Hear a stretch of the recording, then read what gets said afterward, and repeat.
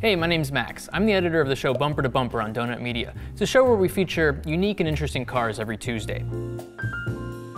Now there's a lot that goes into making a YouTube video, but honestly one of the most important stages that a lot of people overlook is the editorial stage. Now you gotta remember as the video editor, you literally control the final form of the video before it goes into viewers' eyeballs. So it's very important to nail the edit. Today I'm gonna be going over some of my favorite tips and tricks of the trades that I use in my editing that uh, should hopefully give you a little bit of an edge over those other content creators in your own editing. So let's get into my first favorite technique. In this scene, we need to transition from this shot to this shot. The problem, of course, is that if we just do a hard cut from shot to shot, viewers' brains will be completely confused because they'll think, well, wait, wait a second, how did he just get from here to here. So we're gonna need to have a smooth transition to ease them into that next shot so that it will make sense for their brains. If you're just starting out with editing, you might use a simple technique like a cross dissolve. And I mean, look, that totally gets the job done, but we gotta do something a little bit more creative if we wanna get our viewers' attention here. So the first thing you're gonna wanna do is take these two clips, select them, and then you're gonna wanna put them into an After Effects composition. Right about here, if we scrub through our comp here, that's a great place. We're gonna start our transition. I'm gonna take this clip right here and I'm gonna duplicate it. I'm gonna do a freeze frame right on that frame. And I'm gonna just make a mask that goes right through Jeremiah's mouth. So we're gonna just use our pen tool here to do that. And I, I, do find that this is a really good way to learn all about your friends and their bodies. The main part here is that we get that lip right. You don't need to worry about the rest of it. So if we turn off our main other layer here, you can see we just have his lip. We're gonna go ahead and duplicate that layer.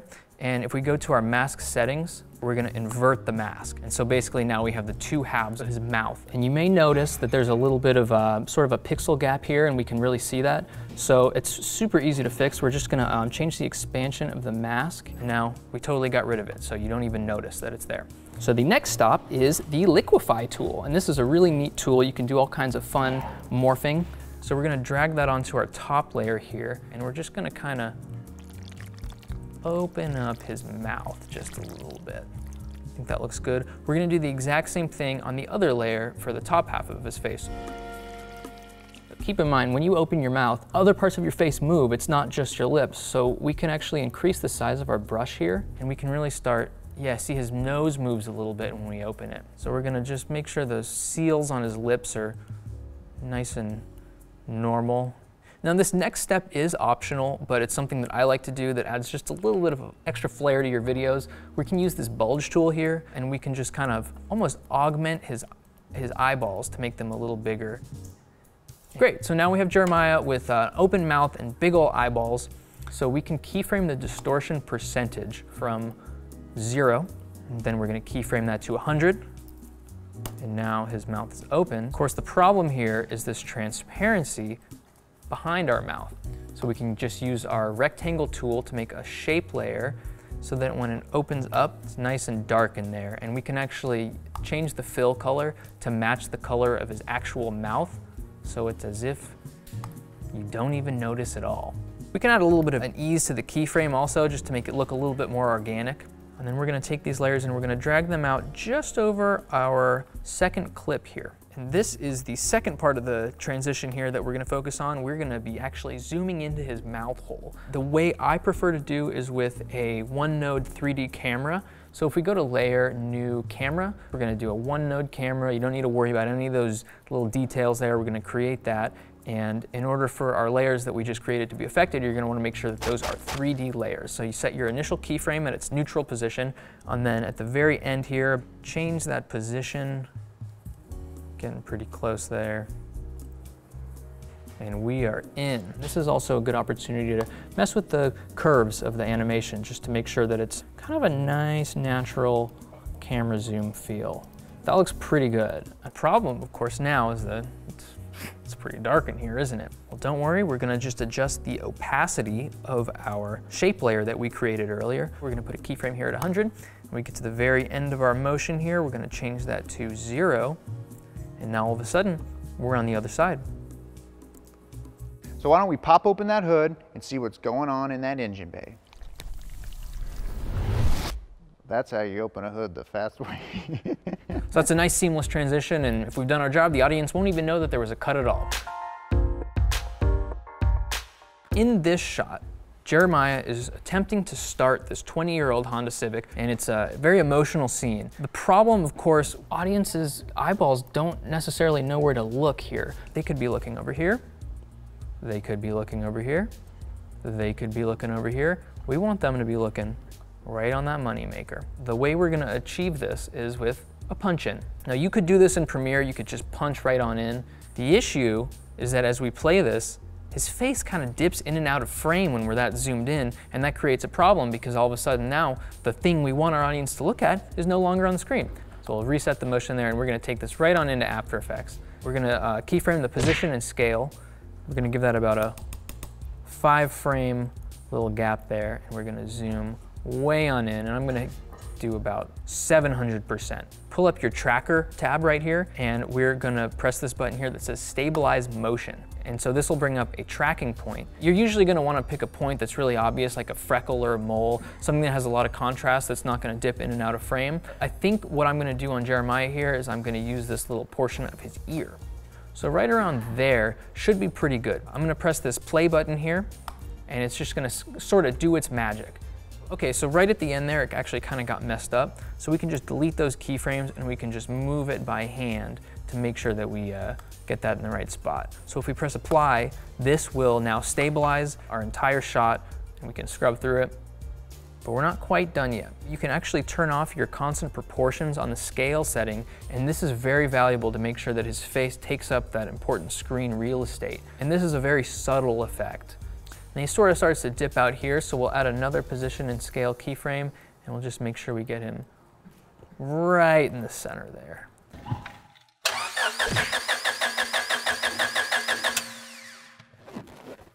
Now, because we've done this, audiences know exactly what to look at. So that is the second technique. We're gonna move on to the third and final technique today. This is possibly one of the most important things that you could ever have in your YouTube channel, and that is a celebrity cameo.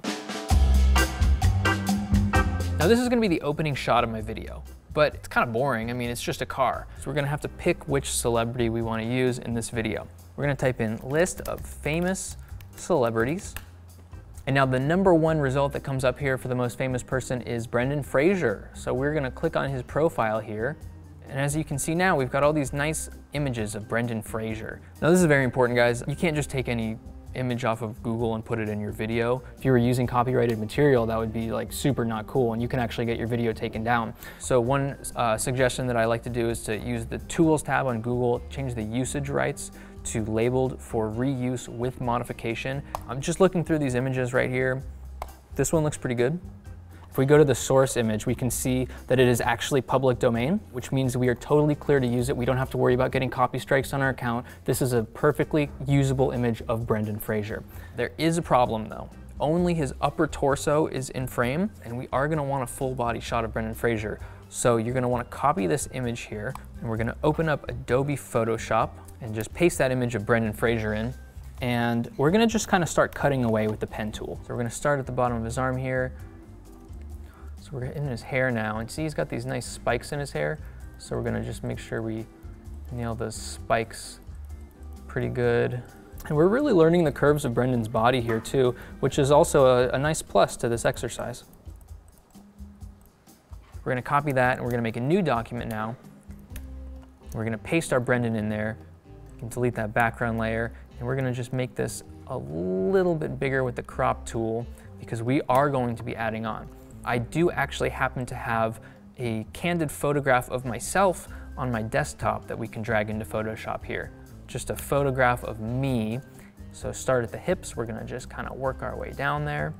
Again, we're gonna make a selection, we're gonna copy that, and we're gonna paste it into our document here with Brendan Fraser. Now, the problem is that the size isn't perfect. You can just kind of eyeball it by hand. We don't need to be exact about it. Go ahead and use our warp tool now so that we can just match the belt line up with his jacket. Press enter now and we'll lock that in place.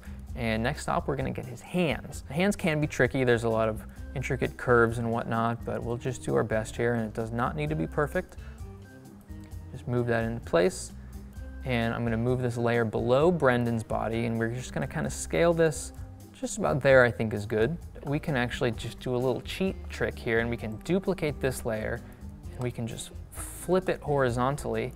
So we'll put that in place We have a pretty good transparent image of Brendan Fraser now, and you wouldn't have even known the difference if you hadn't seen me do it. And we can just kind of put him right on frame and scale him to about where we want him.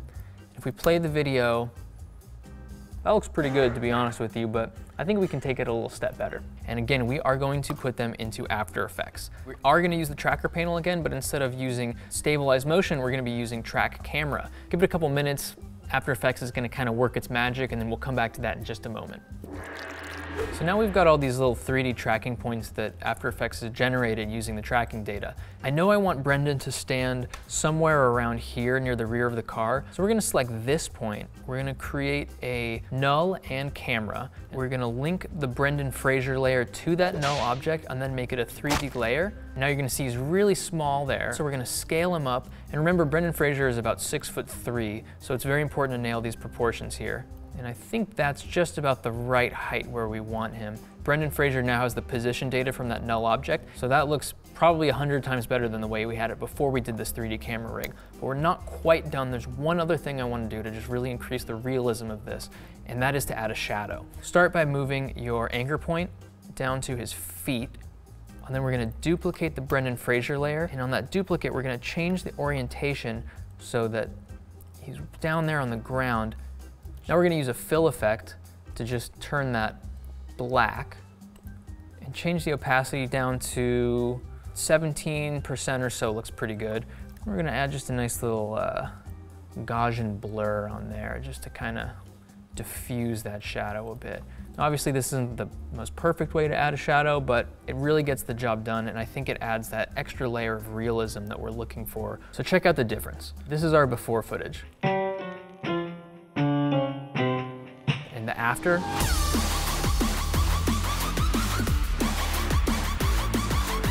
We've got a real celebrity cameo right next to our Honda Civic. Audiences literally won't be able to click away from this, so this is exactly what we wanted. All right guys, so that's all I have for you today. Hopefully you uh, learned some really valuable tips and tricks that you can apply to your own YouTube videos. Again, my name is Max. You can follow me on Instagram at 35 mm underscore cars, which is a very complicated name to say out loud. And make sure you subscribe to Donut Media on YouTube so you can watch Bumper to Bumper and see some of my edits in action. Thanks for watching and I'll see you next time.